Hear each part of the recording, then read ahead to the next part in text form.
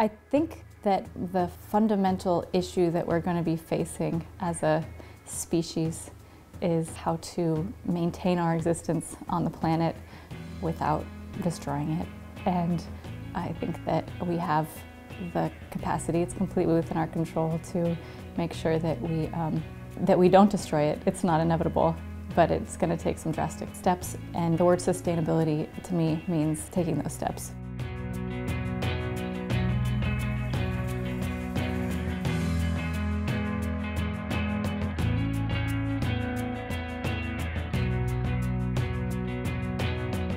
The solar panel produces way more than the house uses, partly because the house doesn't use any energy to heat or cool, and the hot water is all from the solar thermal panels.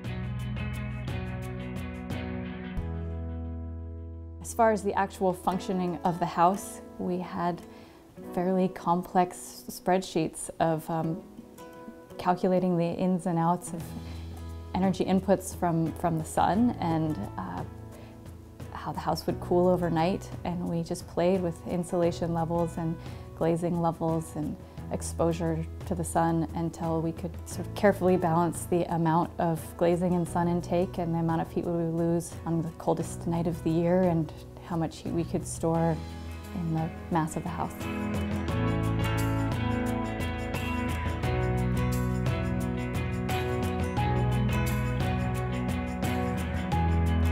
Took each design decision and each material on its own and we'd analyze where did it come from and what went into creating it and what was its next step in life. Was it the landfill or was it going to biodegrade or how long was it going to last? And took that general set of questions to every piece of the house.